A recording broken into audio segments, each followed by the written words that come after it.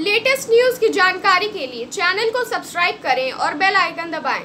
Big Boss 14 के घर में एक बार फिर से हो चुका है कंटेस्टेंट्स के बीच में झगड़ा, जिसके बाद ये बड़ी खबर सामने आई है कि इस लड़ाई की वजह से अभिनव शुक्ला ने राहुल वेद को दे दिया है मारने की धमकी। जी हाँ बिल्कुल सही सुन रहे हैं कि ये लड़ाई बढ़ते बढ़ते इतनी ज़्यादा बढ़ गई है कि इसके कारण अभिनव शुक्ला ने दे दिया है मारने का धमकी राहुल वेद को, जिसके बाद इन दोनों में काफ़ी बड़ी लड़ाई देखी गई है। आने वाला एपिसोड बिग बॉस 14 का काफ़ी ज़्यादा हंगामा से भरा हुआ होने वाला है जिसके बाद इन दोनों में एक लड़ाई होने वाली है और जिसके बाद ये देखा जाएगा कि अभिनव शुक्ला धमकी देते हैं राहुल वेद को मारने की।